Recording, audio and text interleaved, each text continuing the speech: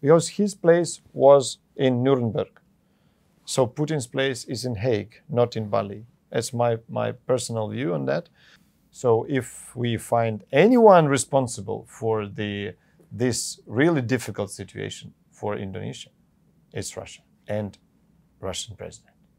Hundreds of people tortured with iron, with you know eyes picked and, uh, and tongues and everything.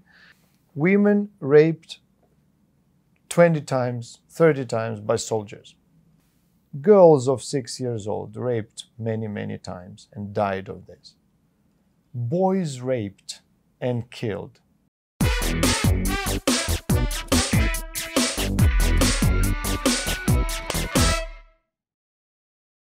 Halo, ketemu lagi di Newsmaker, medcom.id, obrolan hangat one-on-one bersama saya, Alfa Mandalika. Seperti lingkaran setan, perang Rusia-Ukraina yang menyeret Indonesia sebagai pemegang presidensi G20. Belum ada ujungnya. KTT G20 di Bali masih jauh dari kata sepakat. Rusia merasa diundang Indonesia, tapi Amerika merasa Rusia harus diusir dari G20. Lalu muncul wacana di kalangan negara NATO yang juga anggota G20, yaitu Rusia boleh datang asalkan Ukraina juga datang atau diundang ke Bali. Lantas seperti apa suara Ukraina sendiri? Jurnalis Medcom.id, Marcela mewawancarai langsung Duta Besar Ukraina untuk Indonesia, yakni Vasil Hamianin. Sangat lengkap, mulai dari laporan mengerikan korban perang di Ukraina, hingga posisi Indonesia yang terpojok akibat perang Rusia dan Ukraina. Dan saksikanlah wawancara langsung dengan Duta Besar Ukraina untuk Indonesia, Vasil Hamianin, berikut ini. Oke. How are you, Ambassador? Selamat siang. Selamat siang. Selamat siang, Ibu. So, uh, terima kasih sudah bersama dengan kami, uh, wawancara dengan kami. So, before we start, I just want to know how long you in Indonesia? Ya. Saya sangat dihormati. uh, punya kesempatan ini uh, diwawancara? No. Yes, diwawancara. Yeah, diwawancara. Thank you so much for coming. I'm really honored and it's great. I met your your uh, media first time and it's really it's famous and it's good. Thank you for helping. Thank you for assisting us, for assisting what is right. And uh, yeah, uh, uh, saya tiba di Jakarta baru lima bulan. Ah. So it's new, but yes, I'm very new here. Are you uh, already going to the uh, the uh, the others area or from uh, different from Jakarta or yeah.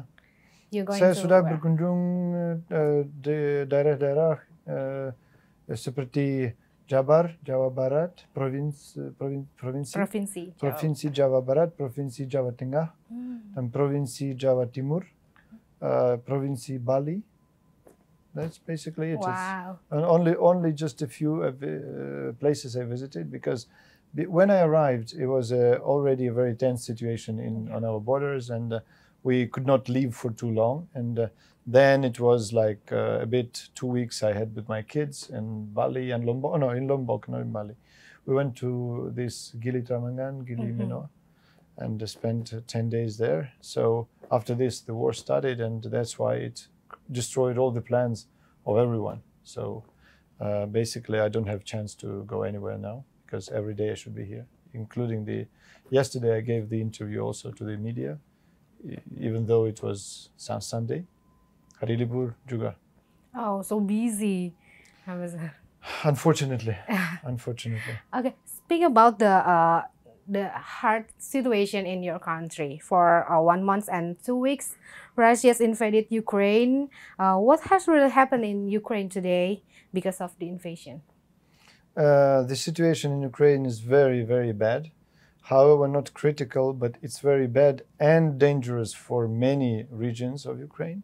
After what we see in uh, happened in uh, some small towns and villages uh, near Kiev, uh, I mean, the world knows now and can get the access to all the photos and videos from Bucha, from Irpin, from Borodyanka, and everything.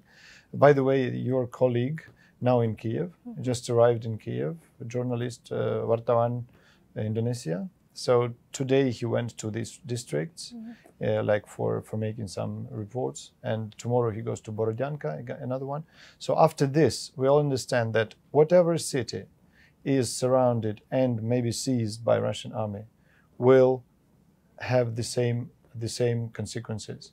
So if you just uh, civilian, civilians, uh, if you just stay there, live there, don't ever touch the weapons and everything. If you are a child or a woman, you are gravely endangered.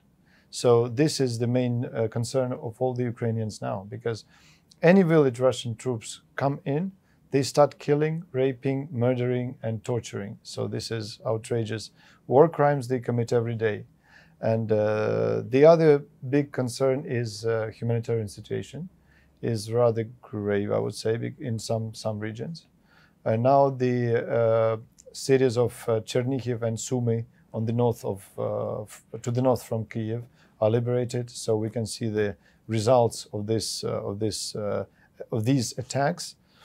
And uh, uh, city of Kharkiv, second biggest, is again is a target. And but the main main uh, main humanitarian catastrophe is in Mariupol, in the south of Ukraine, is a port which is surrounded for 35 days. Can you imagine 35 days people don't have electricity, food, water for drinking, even drinking water, heating, medicine. So many people just died because they don't have food or water.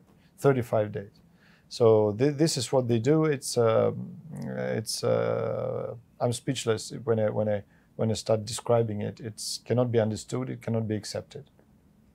Okay, and uh, Russia's President Vladimir Putin uh, kept saying that Ukraine needs to be saved from what?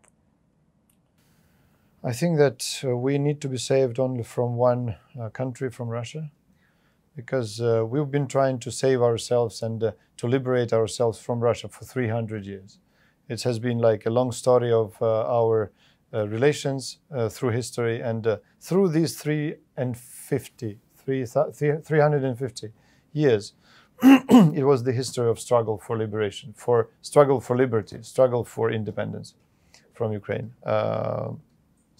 Of, of, of liberty of Ukraine from Russian colonial rule. So um, now it's I think it's very uh, important time for us, and uh, it's uh, crucial to put the final full stop to Russian colonial rule. Really, we we think this will be the final end of colonialism globally. So basically, it's the war uh, of, of against colonialism. It's the war of uh, democracy, standing up and fighting colonialism. It's very important to understand that. And uh, what Putin thinks, it really doesn't matter now what he says and what he thinks, because what they say, including the diplomats and the media and everything, is uh, just direct lies, um, cannot be trusted.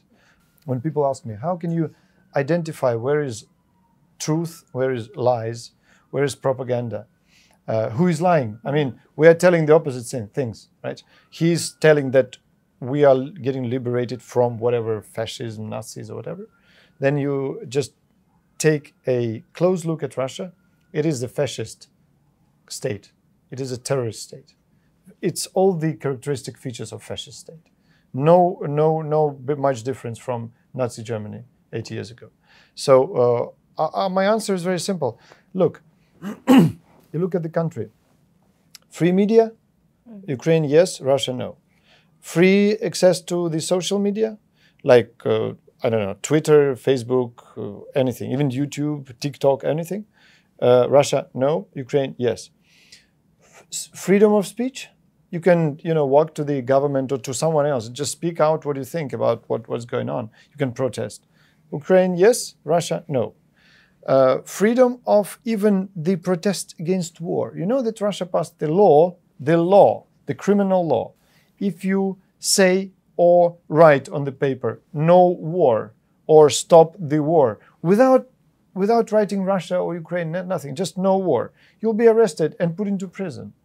So who is lying and who is telling the truth? It's uh, up to anyone to decide. So, what he's trying to liberate us from, I mean, after he bombed and shelled the big cities of Ukraine and many villages, after Russian soldiers tortured and killed hundreds of Ukrainians, I don't think that looks like liberation. I think that looks like genocide. I would not use this word like uh, uh, for sure, but it looks like very much like like genocide. Okay, but compare the Crimea in 2014. Uh, Ukraine is small. Do you think Ukraine is more well uh, prepared in facing Russia's Russia's military? Uh, Ukraine is definitely uh, was definitely um, better prepared because we know the this neighbor is aggressive and this neighbor is uh, unpredictable. But the the the bad thing was we really to the final minute we did not believe that he is not bluffing. We really hoped that this is just you know like threats and the pressure and uh, all that. And even if he invaded already, we still thought that this is just like a, like a war, right? Like uh, invasion, like you know, taking lands and uh, you know, occupying territories, and uh, you know, uh, expecting people to greet him and set and something. After a few days, we understood. Basically, after two weeks, we understood that no, his purpose is not Ukrainian land. His purpose is not uh, even like occupation or that sort of things. His real purpose, I mean, his Putin's and, and the state of Russia. The real purpose is really to destroy Ukrainian nation, finally destroy Ukrainian nation, erase Ukrainians from the life, from the world, and erase Ukraine as a free state from the maps. This is the final purpose and and uh, final and uh, uh, ultimate purpose of Putin and Putin's Russia. Uh, and then, uh, do you see that uh, Russia's objective, this invasion, uh, are turning into failure? Uh, absolutely. Uh, this is this is no doubts about this. in fact, interesting thing that no one in the world believed that Ukraine will manage to resist more than a week. Everyone was really thinking that in uh, five days, three days, four days, maybe six days, uh, Kiev will be seized, and uh, the uh, like first surrendered, then attacked, then seized. So no one except Ukrainians, except the president of Ukraine, because he was warned many times that this will happen, and uh, he was uh, invited many times to leave Ukraine, to somewhere, just you know, fled to to the west, yeah. And he refused. However, he could understand the consequences of that. But only Ukrainians believed in themselves, and this is obvious. I mean, people who uh, were still very badly armed. In fact, we didn't have any heavy weapons. We, we were, you know, according to the statistics, very simple. Uh, Russian army is like about all the old Russian army. It's about 20,000 tanks. In Ukrainian army, it's about 900 tanks. Mm-hmm. It's it's uh, uncomparable. It's it's so huge difference. Same story about the uh, aircrafts, helicopters, about the armored vehicles, about the ship, about the uh, you know like war warships, uh, and about, especially about missiles. We we didn't have all this. We were just you know, and uh, first days it was really hard. But people because people were highly motivated and still are, and they are defending the, the land. They are defending the, the people, children, and uh, and mothers and sisters and uh, uh, friends. So uh, this motivation led to the defeat of Russian army on many directions, and uh, this will definitely lead to defeat uh, to the of the Russian army finally. And yes, uh, he failed to achieve the main goal: surrender and elimination of, of Ukrainians. So now he can still kill. He he he, capa- he is capable still militarily to bomb the cities, to drop bombs and to hit missiles and all that to the cities. And still, he is capable of killing civilians, but it's uh, the final target missed. Okay. Uh, talking about the uh, the attack uh, from Russia, the eastern side of Ukraine become a center of attention now uh, for this invasion. So, uh, is it true that uh, the Ukraine peoples in East felt more comfort if they are joining with Russia? Uh, people in the East, mm -hmm. traditionally, because I'm from the East, And my uh, many relatives of, of, of, of, myself, my family, still live in the eastern part, and many relatives still live in the occupied territory of Donbass. It's like like um, like cousins or something. So so there are many people who are like my relatives. So I know about the situation from the first hand. I visited this uh, region many times in, when I was a small small child and then teenager. So I really I understand really well what is going on there and what was happening there before even the, before the invasion in 2014.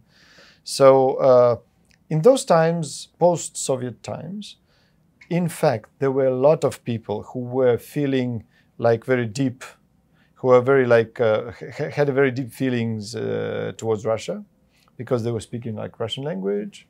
My native town Dnipro is speaking Russian language, and the hometown of President Zelensky, Kryvyi Rih, is also 100% Russian-speaking city. And um, of course, these people had some sentiments towards Russia because they were watching Russian television, listening to the radio, listening to, to news. They were less crossing the border even without the permits or visas. I mean, there is no border basically. So between the villages, here's Russia, here's Ukraine. Nothing. You just walk here, buy things, go there. It's like a transparent border. Right? It, it, it was like this. So people were feeling like very close, and uh, they often visit each other and all that. So sentiments existed, honestly, and uh, the sentiments uh, decreased to from like I would say from maybe 80% of supporting Russia uh, to maybe 30% after 2014. Because if you really feel like a friend, if you really uh, like, um, uh, uh if you uh, present yourself like a neighbor, good neighbor, like protector and all that stuff, you don't kill people.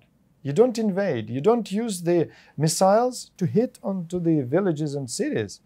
And uh, the great, uh, the, the very obvious uh, uh, confirmation of my words, the very obvious uh, um, support for my words, is the fact that when Russia attacked in 2014, I think it's like 1.5 million people fled from Donbass. And the, these were not Ukrainian-speaking people. These were people who really like, like were pretty good towards Russia. So they fled. They, they ran away. They left the houses. They left the, everything just ran because uh, they understood what is Russian world, Russian peace means. Uh, and uh, this is the main, like, like I mean, it's very obvious now. Yeah. So if uh, they feel close and and like like relatives, they would never run away. Yeah.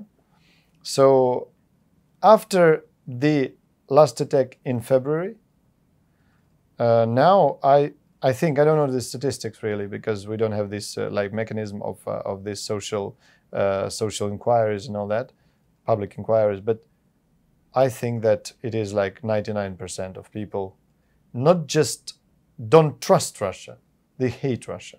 They're furious towards Russia, towards Russian uh, army, towards Russian government, and also towards Russian people because the people are supporting, still supporting Putin. They shown the photos of Bucha, they shown the videos, and they say what? Yes, it's right. Kill the fascists in Ukraine. Just kill them all. That's Russian people, just citizens walking in the streets of many cities. I mean, like 1% maybe say something, oh, it's terrible. But majority say, right, we support Putin. And the fact that during these 40, 46 days, the rating rate of support of Putin increased from like 67 to 82. What it means? It means that they hate us. They don't want us to be alive. Simple. So now uh, we are not even thinking about like what alliance with Russia or about forgiving Russia or about like getting friendly with Russia. Anything, nothing like this. Never existed. He destroyed this totally. Okay. Uh, we move to the NATO. Uh, so President Zelensky said no, uh, not interested anymore to join the pact. So uh, what happened exactly? Mm. And has Ukraine really give up joining the pact, or is still hoping to join them? NATO. NATO. Uh, I don't think it is a correct information that President Zelensky said that we are not interested. No, it was not like this. He said if uh, NATO doesn't want us, mm-hmm. we can do without. it's not. A, I mean, we cannot force NATO to accept us. Cannot. But if NATO doesn't want us, what should we do? We should first we should uh, have the uh, guarantees of security. Uh, we should have very strong security guarantees provided by states who are willing to do so. First of all, our partners, like United States, United Kingdom, Poland, Canada, maybe, maybe Japan, maybe someone else. Second is it's not so simple to uh, say that we are not going to join NATO because it's in our constitution. Mm-hmm. You understand what is constitution if it is to be changed. First step is referendum. All people should vote for like neutrality or something. Then it goes to the parliament for approval. So we pass the law, we change the constitution, then the president signs it, the decree, and then constitution is changed and we are neutral. But this is a process that takes place in any democratic country. We, we are not like Russia, like Putin says something, oh, constitution is changed the next day. No, it doesn't work like this here. So uh, telling, can we be neutral? Yes, we can. Can we change this in one day? No, we cannot. Uh, will NATO accept us? I don't think. I don't know. It's. Uh, I don't know. Recently, I read somewhere in the newspaper. I don't. I, I don't know. Say it's. It's like a general from uh, American Army, and he said that, what if we accept? For example, let's imagine we're going to accept Ukraine. Right. First thing is about NATO standards. Now he said, Ukrainian army proved that the uh, the, the Ukrainian army uh, standards of Ukrainian army are higher now than the NATO standards. In all meanings, we are fighting. We are getting like uh, like very efficient use of weapons, etc., etc. Standards, no problem. Political, political side is more complicated. Uh, political side, maybe I think maybe uh, directly uh, refers to the fear of the West of nuclear weapons. That's of Russia. Yeah. That's something he threatens everyone to the left and to the right. That whoever supports will strike. I mean, this is this is outrageous. I would say. President Zelensky said that the war could go beyond Ukraine and spreads to Europe. Uh, could give you comment on this? Yeah, absolutely agree with this, and not only to Europe. Uh, I repeat again, this is the last attack of colonialism onto democracy. It's a global thing. It's not like why I'm telling it's global. First of all, that uh, our world is uh, is very small now. It's not like 200 years ago. Small. Something happens here, it immediately influences something or so, something in someone on the other end of the world, like food security, energy security, logistics, the everything, right? So in this meaning, uh, the influence on the world is huge. And uh, it already influenced a lot of countries, including Indonesia, including China, including Africa, and in India, many, many, many places. As for the war, can it be? Well, it is something. I'm not like uh, Ratu Joyoboyo, I'm not prophet, right? So I cannot say if anything happens, what would come next. But looking at the uh, aggressive uh, stance, aggressive rhetorics of Putin, it is, I don't have any doubts that he would attack Finland, Lithuania, Poland, Slovakia. That's why they understand this very, very clearly. That's why they help us so, so much and support. They understand that it is crucial to support Ukraine. So, uh, what do you think the uh, help for your uh, neighbor countries is uh, enough for Ukraine to uh, facing the uh, invasion? At present, I think that it's enough to carry on, to resist, but it's not enough to defeat, really seriously defeat, because I, I, just I gave you the figure, right? as for the aviation, I think we have like I don't know what many, eight, maybe 80 aircrafts compared to 800 aircrafts of Russia. So it's uncomparable. It's uh, too different, too, too, too far too, uh, far too, um, far too big. Uh, this army is. Uh, they say it's like what second strongest army in the world, uh, like this. Not many countries really believed. I mean, nobody believed that we will be able to resist for so long. Uh, many people think that it will be the uh, uh, scenario in, of Afghanistan. They just drop off weapons and run. But from the very first days of the war, uh, we already, uh, well, well, the West, the partners started provided us with many excellent things. First of all, is uh, like financial support and uh, humanitarian support, humanitarian aid, because all logistic chains were broken and all that. And uh, the small arms, small weapons like Javelin or like Stinger, all those are small for guerrilla wars mainly, but uh, still it's it's very very efficient, proved itself like really good stuff. And what is very important, sanctions. So yes, they are supporting us a lot. Okay, uh, so uh, what strategy, uh, strategies uh, that uh, Ukraine does for fighting the, this, uh, this Russia? Just uh, oh, it's difficult to say what strategies. I'm not the military, right? And uh, uh, to be honest, my minister of defense doesn't report to me at all what happens or what the plans are. And it's right because they have the plans, they have what they do. But what I want to say is they are well informed, they are well prepared they are knowing the tactics and strategy of the of the Russian army. They understand what they are capable of because of the intelligence and all that. So I think well, the final the final purpose is very very simple: to defeat the Russian army and make them surrender and uh, make them uh, you know we, we, we are we are looking forward to capitulation of uh, Russian army. Uh, but uh, talk about the uh, help from your uh, neighbor country. Mm. So uh, civilians, many civilians uh, killed because of yes. this invasion.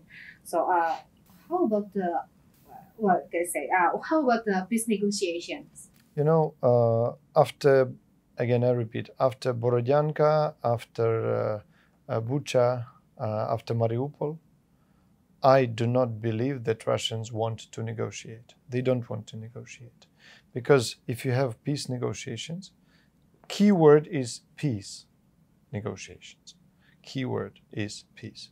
You cannot uh, sit down on this table and talk about peace at the same time killing civilians in cold blood in cities and villages, rob robbing the houses, and shelling Mariupol and Kharkiv with missiles. It's no peace negotiations. So we never refused of, of negotiations, but the it's uh, like uh, I think it's obvious for even for a child that if you want to negotiate, first of all, what you do ceasefire, just stop fighting, and then you sit down and talk, and if nothing, well, they go on. But it, during this process, it's uh, crucial. It's only one demand from Ukrainian side. We want you first stop shelling, stop killing, stop bombing, and then we sit down and talk. But Russia never, never followed this rule. And I mean, just what five rounds of negotiations, then then Istanbul, then it's like ridiculous. It's very understandable why. Very understandable. It's so clear to me that you know, like crystal clear to me why. I repeat first, the purpose is to eliminate Ukraine, not to you know liberate or protect or something. Second one is now Putin in Russia, because Russia is a closed country informationally, so they nearly don't have any access to any information unless they dig deeper a bit into the internet and everything. But on the surface, TV and all that stuff, like it's it's it's lies and they isolated. So, uh, how about you said about the Bucha and the others uh, cities? So, what happened in, in there? What is the situation? the situation was uh, unimaginable. We, we, we knew that something bad is going on, but we could not imagine the scale and the methods of uh, what they did. Basically, I, I have PhD in history, world history, so I did some digging into the history, like deep, deep in there. I mean, that scale of uh, murders and the uh, ways they uh, did it, I think last time it was perhaps, again, by Russians, during the Second World War in Berlin, and again by Russians during the First World War in this revolution in 1918, 1920, again in Ukraine. So that's what they did. Uh, what they did is is uh, is uh, cannot be I cannot just talk about this like uh, simply because when I when I look at it, I just cannot cannot imagine that this is really uh, happened. Hundreds of people just killed, not killed in action or maybe like tank. Tank is going along the street, and it turns and fights into the building, into the residential. No army, just you know residential flat. Hundreds of people tortured with iron, with you know eyes picked and, uh, and tongues and everything, and then hands tied on the back, and they shot into the head after all these tortures.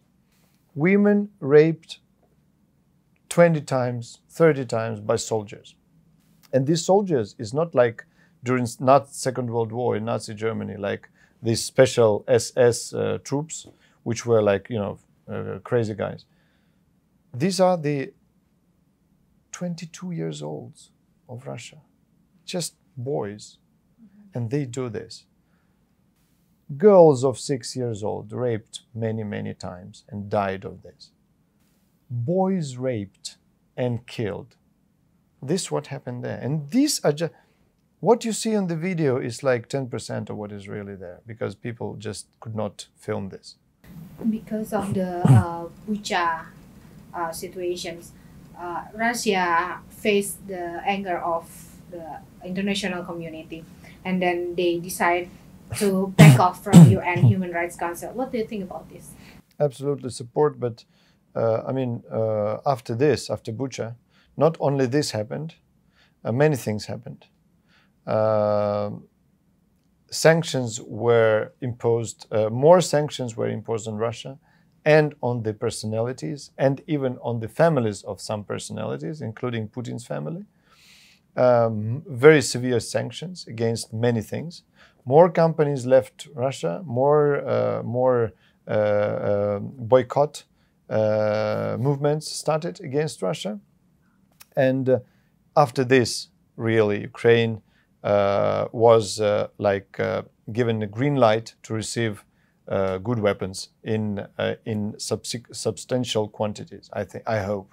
So we have this green light. So uh, after they saw this, because this is massacre. This is massacre. That uh, I mean, you can remember from the history, Nanking in uh, in in uh, in China, during the 1938, 39, I think. You remember massacres Germany is committed in in uh, territory of uh, former Soviet Union, and all these concentration camps, all this Auschwitz and the Buchenwald, and all this stuff. This is the same story. This is the war crimes against humanity. So uh, this uh, like uh, gesture of uh, within the UN, Human Rights Council, this is a, a very good sign that world community is doing right thing.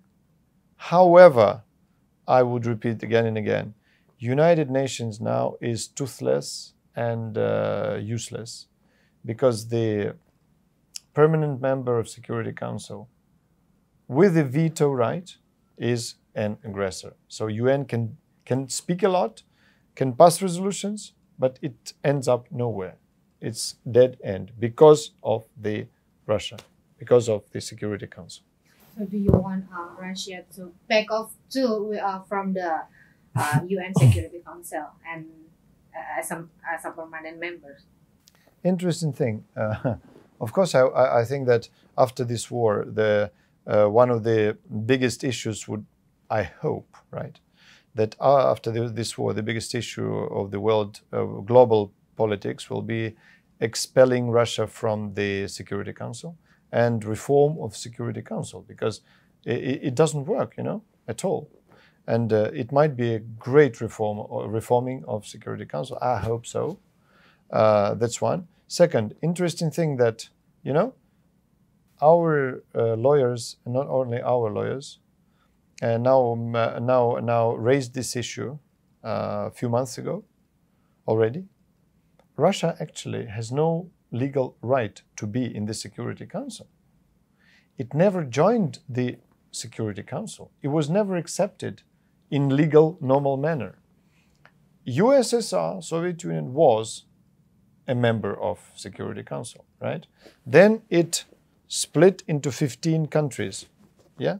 And somehow Russia, who was just a part of the uh, Soviet Union, however the big part, but just a part, somehow just left there and uh, no documents, no voting, no like nothing signed. It, it's just illegal for Russia to be the member of Security Council, and we already uh, uh, like uh, provided a lot of documents for that. So now it, it is being considered. It's not a quick process, but they really don't have right to be there for the first for the first uh, like for the beginning, yeah.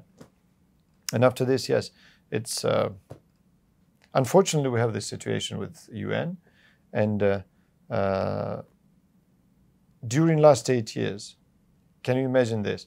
We had the war in Donbass. We had we were really willing and, and wishing to have the peacekeepers, UN peacekeepers, there and UN observers there.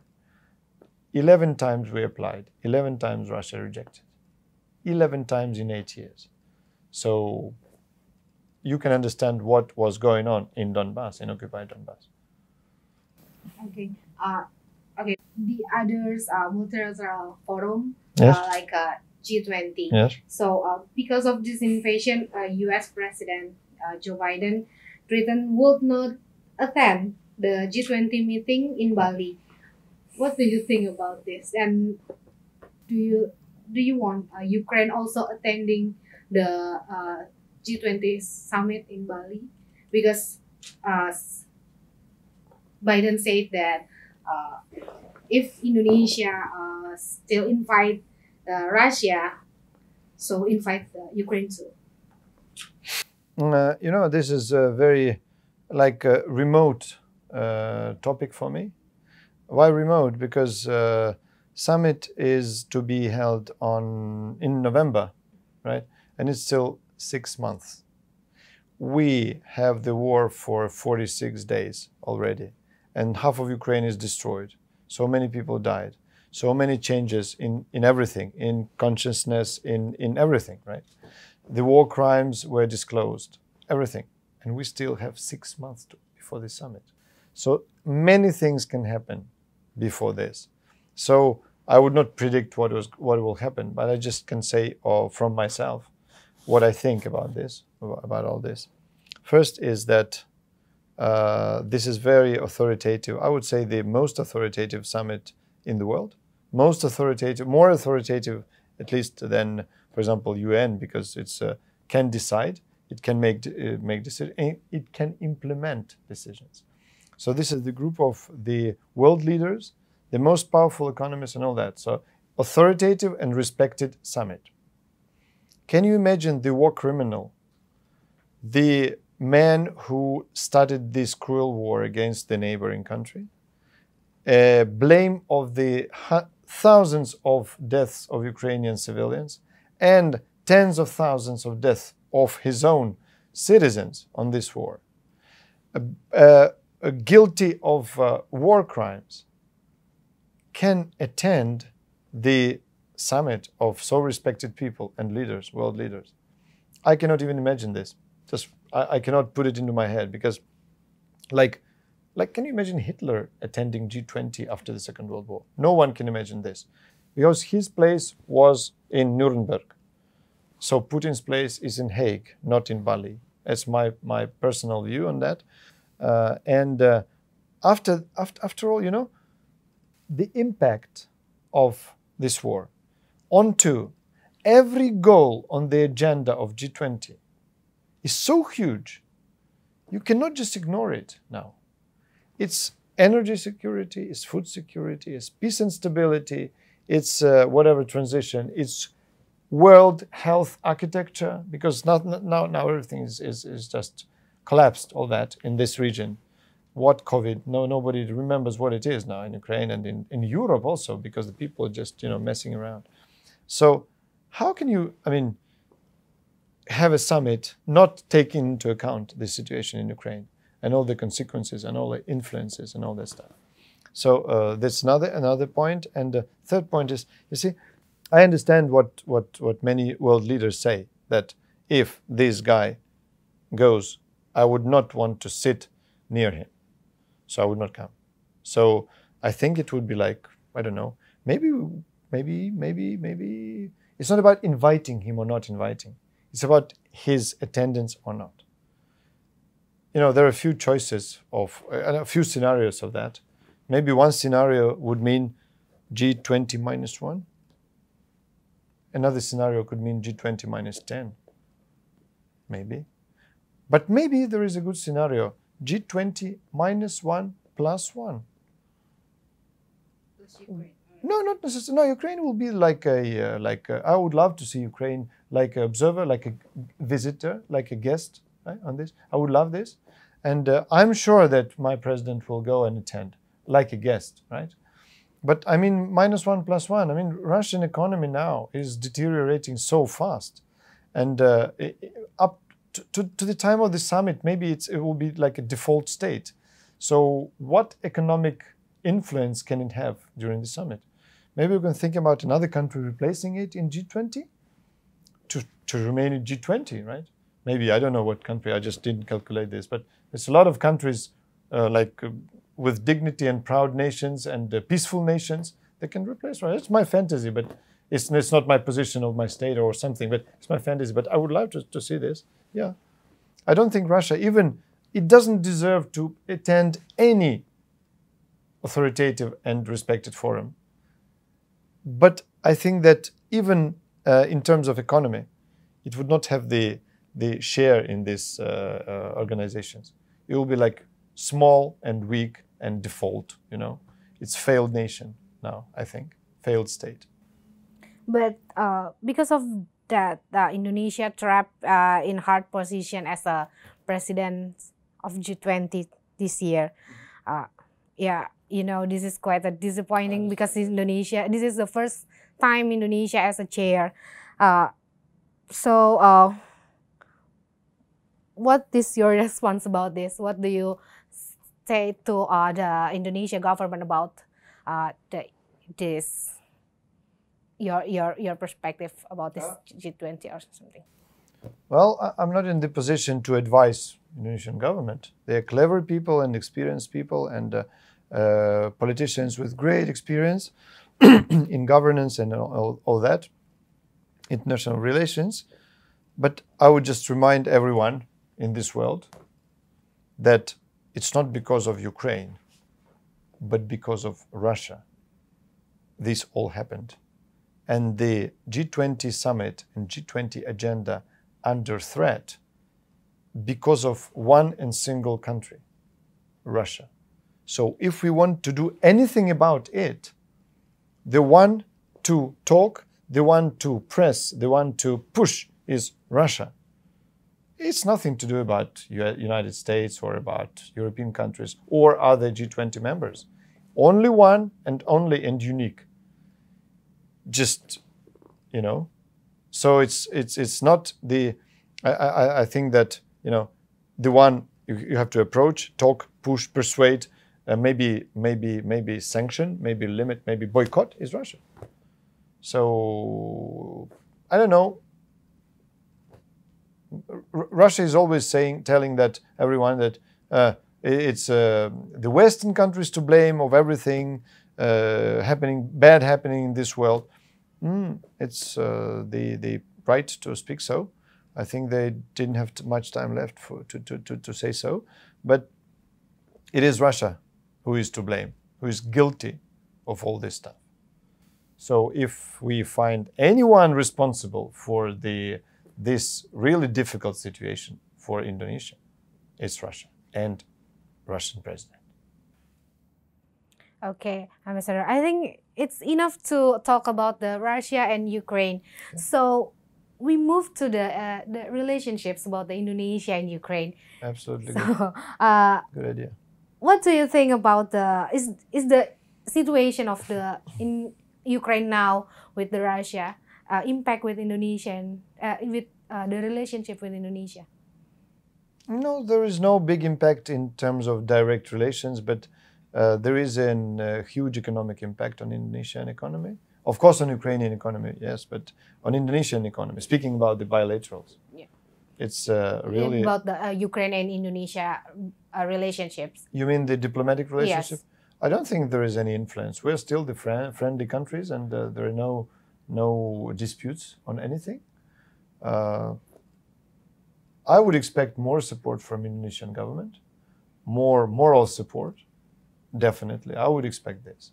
I would hope that uh, Indonesian uh, government will be more firm in condemning the aggression, in condemning the war crimes committed by Russian Federation.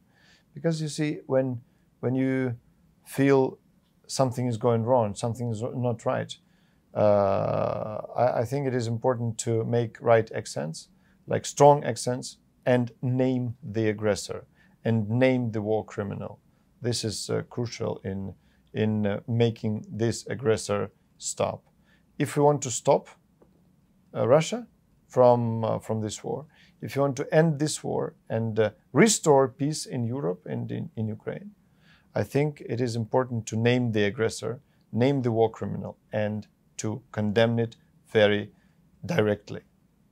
That, that's my hope. We really, we, I mean, we're really, we're really looking forward for uh, strong support from Indonesia because, um, on my point of view, I always thought that the like G20, right? Uh, these are the most influential countries, and uh, every big country, not not big country, but great country, right? Or every leader of the of the region or leader of the world, and Indonesia is turning into the global force, global leader now, one of the global leaders, right? Has not only the power to decide upon something, not only the right to like to advise or to um, shape up, to build up the uh, architecture of world of uh, global economic, political, whatever else relations, but also have as a duty to protect peace, stability, security, and development. All big powers has this duty, I think. Like I would say, part of Indonesia, like India, like Brazil, like United States, like China, like Japan, like many. The, these are the key, key, uh, uh, key defenders of the world peace. Like Russia, by the way, as a Security Council, it should protect peace and security, not attack the neighbor. Yeah. So uh, this is basically my hopes on, on this issue. But but uh, I, I don't think. I mean, I feel the support from real support from Indonesian people. I feel the real support from Indonesian media and uh, from the civil society. I get a lot of support, I got a lot of signals that we are supporting Ukraine and uh, we are against war. Everybody's telling this, that, uh, that uh, we are definitely, and uh, I mean, the constitution of Indonesia says that. We, are not, we could not support any sort of war and all that. So it's, it's, it's, it's uh, clear, right? But it's not enough. Just to say we are against war is not enough because, uh, like, uh, you know what?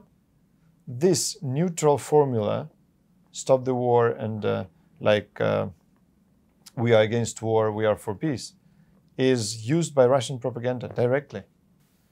As you may, may, may, may feel, as you may, may have read, immediately after this statement of the President Jokowi on situation in Ukraine, I think in Twitter, something like this, uh, next day, Russian ambassador in, in Indonesia uh, published a response, say, yes, I support, I absolutely agree with uh, His Excellency Pak Jokowi's view.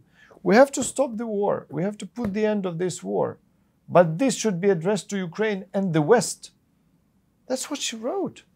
I mean, come on. This is this is absolutely, you know, like I think this is humiliation. This is uh, absolutely something she has no right to do, uh, to say like this. And then it's in her publication in Russia, what she said that I'm grateful that Indonesian people widely support, Indonesian society or nation, I don't, widely support the military operation and, this, and the politics of Vladimir Putin in Ukraine. My God, is it true? If it's not true, I think that someone has to say something about that. Because this is like, and Russian people say, oh yeah, we understand that Indonesia, we have full support of Indonesia. of government and of people and all that. That's, that's what they think now in Russia. So we do need moral support and we do need any other support. Any support is valuable for us and for the world peace and security. Okay, and and from the uh, Indo- Indonesia now, uh, I think like uh, import wheat gandum Mm, from mm, Gandum. from Ukraine, and because of the war, of course the it's in it's uh, decreased like yeah. Uh, so Russia says that they are ready to supply to change uh, Ukraine to supply Indonesia's uh, needs about the wheat. So what do you think about that? Like a still your market. I It's uh, uh, well, it's uh, it, it sounds ridiculous because I've been doing this for many years, like uh, watching on the uh, grain markets and everything.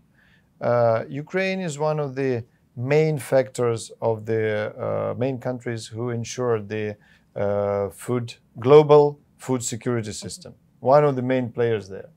And uh, it's not only about Indonesia, it's about China, it's about uh, Africa, it's about Middle East, it's about Central Asia, it's about Europe, finally. So it's a lot of things and uh, it's complicated, it's not that easy. First, Russia is not capable to produce that much of things that we produce in Ukraine because Russia doesn't export that much of everything. Uh, so it can replace what 60 million tons of everything produced in Ukraine annually. It's just ridiculous. It just doesn't uh, cannot be uh, relied on. That's one. Second, how can anyone buy Russian uh, like whatever it is, wheat or, or corn? How would they pay for it when uh, all the banking system of Russia is under sanctions and all the uh, foreign currencies are, for, are banned from, from changing or using in Russia? Uh, how would you pay for that? Or anyone? How would anyone pay for that?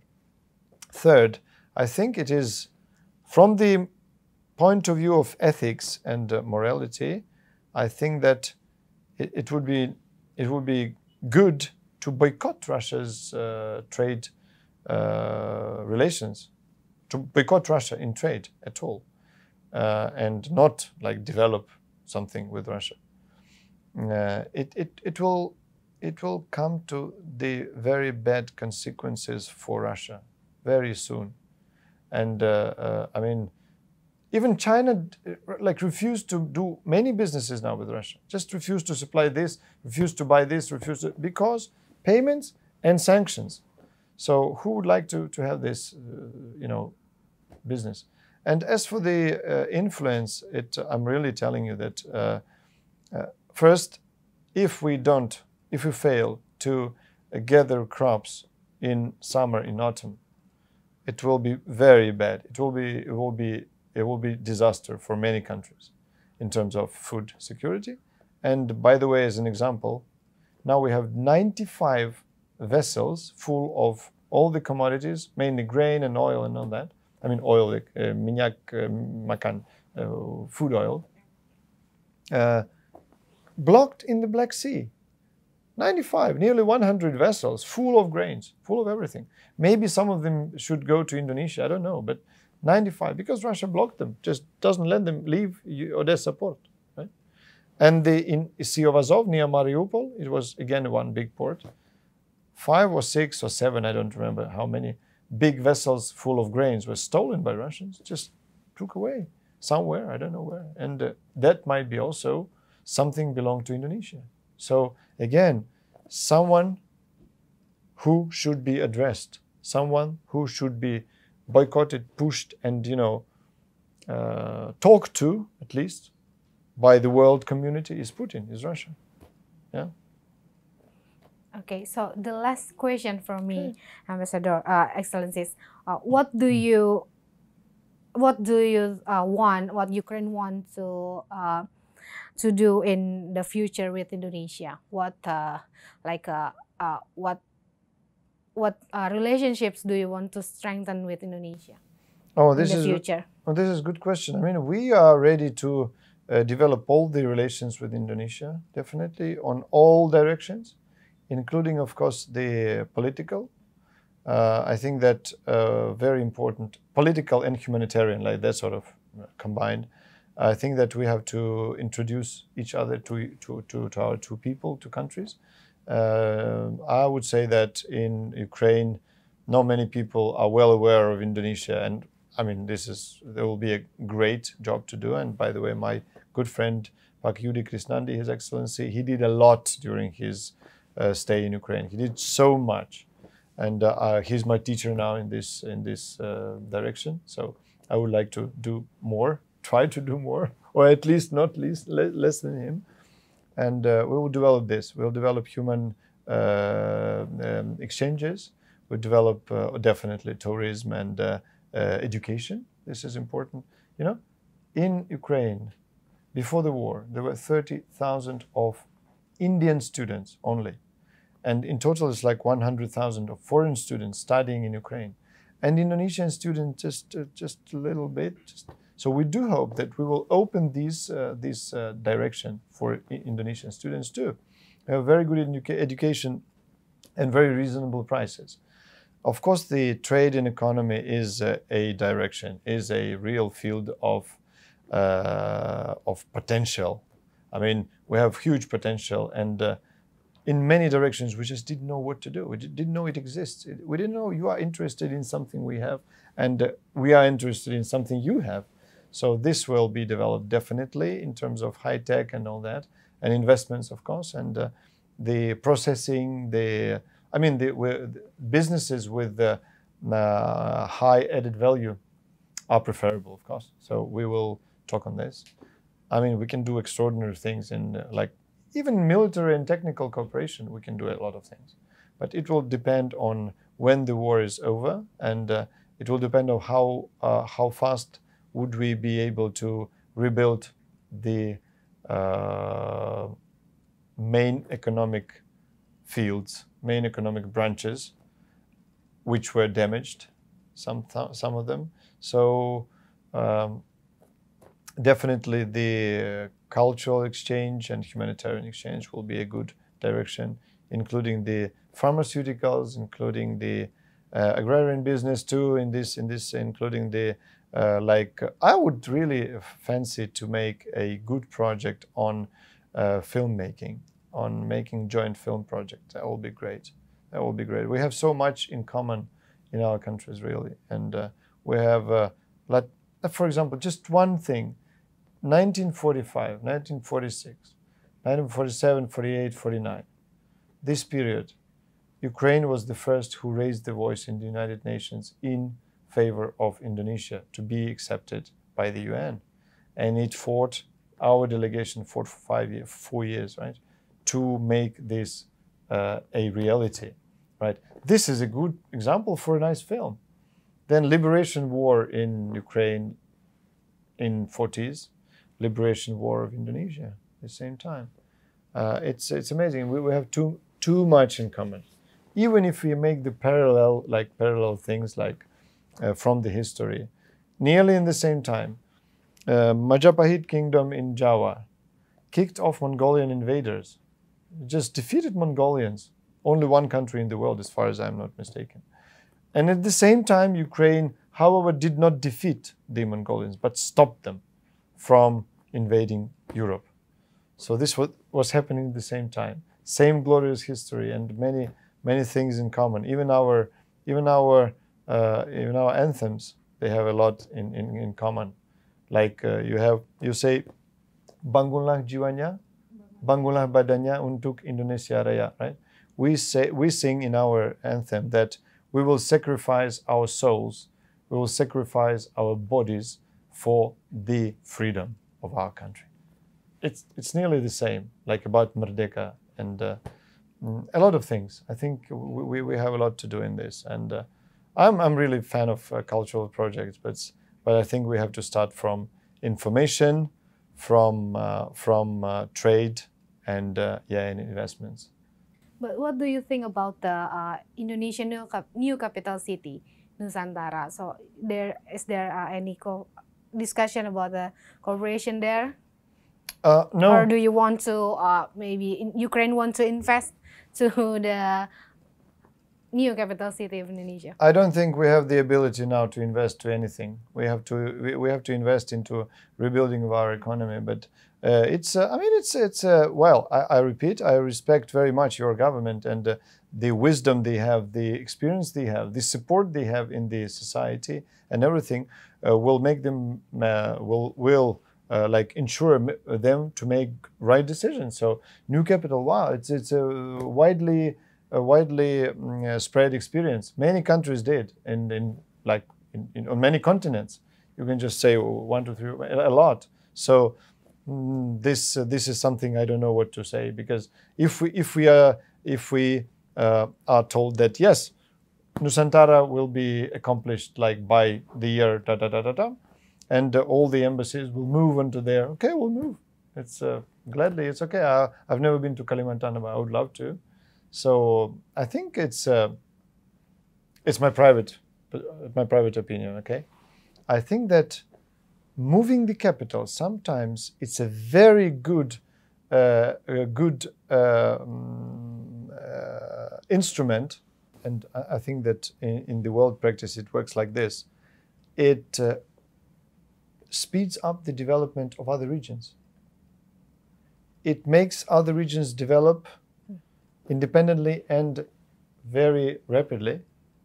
So this gives the impetus for other, other territories of the country to develop, to develop economy, culture, infrastructure, industry, and all the rest. So it's my personal point of view. I think this is uh, this has always been a good idea for many countries.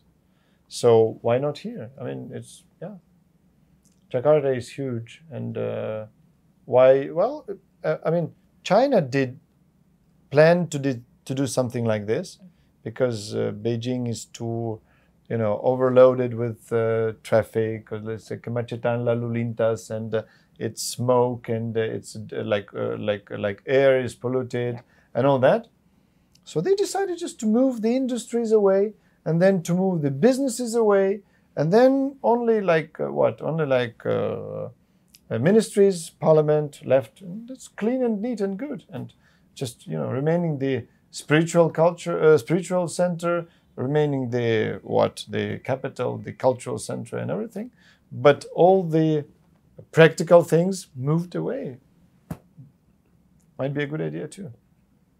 Okay. And I like I think, the I like the name Nusantara really. yeah, thank you. Okay, I think this is that's enough for uh, from us. So thank you so much for your uh, for giving us the opportunity. So uh, we hope the peace Prevail. will be. Insyaallah. Ya, saya mau saya ingin mengucapkan terima kasih banyak untuk kesempatan ini.